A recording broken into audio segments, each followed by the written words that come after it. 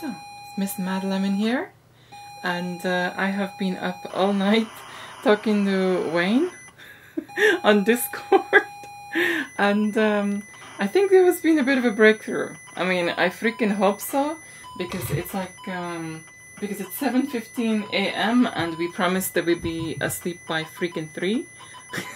but no, we're not.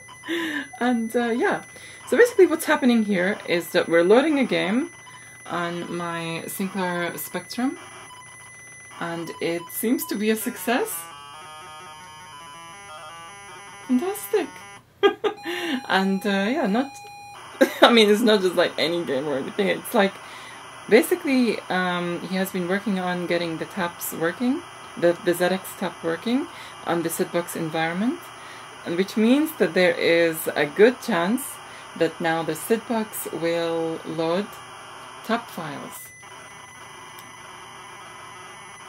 on the ZX Spectrum so you can load your games from the Sidbox directly or make tip compilations and stuff like this.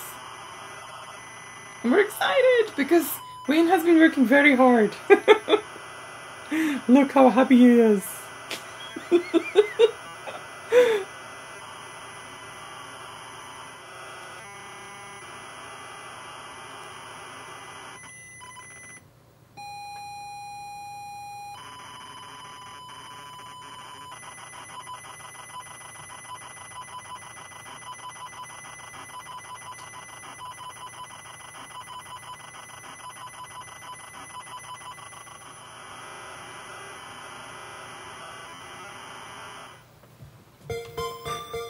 And we have success!